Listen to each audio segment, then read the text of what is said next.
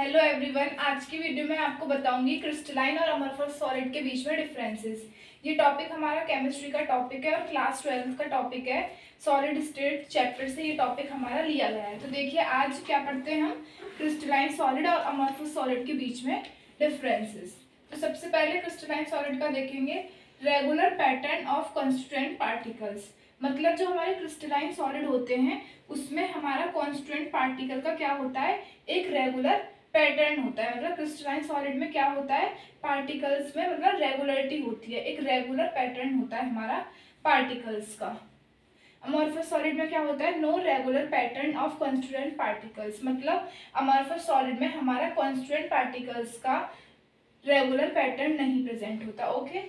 क्या होता है अमॉर्फस सॉलिड में no regular pattern of constituent particles मतलब कॉन्स्टिट्यूएंट पार्टिकल्स का रेगुलर पैटर्न नहीं होता मतलब इनमें रेगुलरिटी नहीं पाई जाती।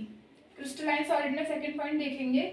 Also known as long range order इनको हम लॉन्ग रेंज ऑर्डर कहते हैं, क्योंकि इनमें रेगुलरिटी पाई जाती है ओके अमरफस सॉलिड में also known as short range order इनको हम शॉर्ट रेंज ऑर्डर कहते हैं, क्योंकि इनमें रेगुलरिटी नहीं पाई जाती।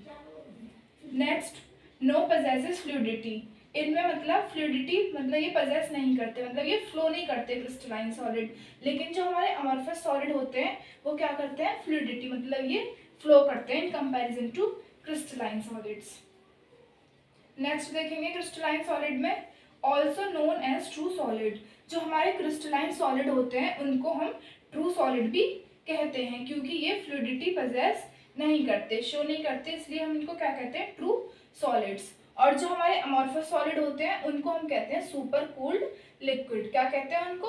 सुपर कोल्ड लिक्विड भी बोला जाता है अमॉर्फस सॉलिड को. ये हमारे कुछ डिफरेंसेस हैं क्रिस्टलाइन सॉलिड और अमॉर्फस सॉलिड में. अब हम कुछ और डिफरेंसेस देखते हैं आगे. नेक्स्ट देखेंगे हम क्रिस्टलाइन सॉलिड और अमॉर्फस सॉलिड में. जो हमारे क्रिस्टलाइन सॉलिड होते हैं, वो क्या है? क्लीवेज प्रॉपर्टी शो करते हैं। मतलब अगर हम उनको नाइफ से कट करते हैं मतलब क्रिस्टलाइन सॉलिड को हम नाइफ से कट कर सकते हैं। तो क्लीवेज होता है, जिनको हम कट कर सकते हैं। तो क्रिस्टलाइन सॉलिड हमारी क्लीवेज प्रॉपर्टी दिखाते हैं, लेकिन अमॉर्फस सॉलिड हमारे क्लीवेज प्रॉपर्टी शो नहीं करते। तो क्या है? Not show cleavage properties next देखेंगे क्रिस्टलाइन सॉलिड में डेफिनेट हीट ऑफ़ फ्यूजन मतलब जो हमारे क्रिस्टलाइन सॉलिड होते हैं, उनका डेफिनेट हीट ऑफ़ फ्यूजन होता है, लेकिन अमरफस सॉलिड का डेफिनेट हीट ऑफ़ फ्यूजन नहीं होता।